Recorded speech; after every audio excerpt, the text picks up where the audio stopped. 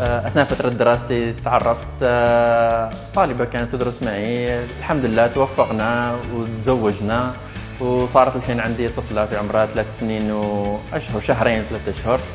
آه، قررت ثاني إني أستقر هنا في الجزائر. الحمد لله الجزائر فتحت لي الأبواب. قدرت أندمج شوية مع مع المجتمع الجزائري.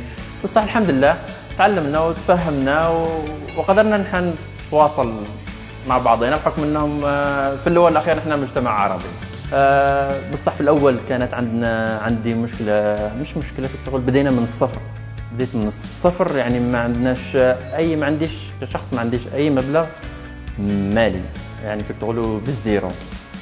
آه، لقيت استجابة الحمد لله من الليكيب اللي نخدم معاهم هنا. حتى مجرد إنه أول طبعة كانت عندي أخذتها يعني في الأول الواحد يقول الصح ما سلكتوش حتى مبلغ ولا أي شيء لغاية ما أخذت المبلغ من الكليوم من الزبون من بعد أخذته وديته لصاحب العمل اللي أنا متعامل معه.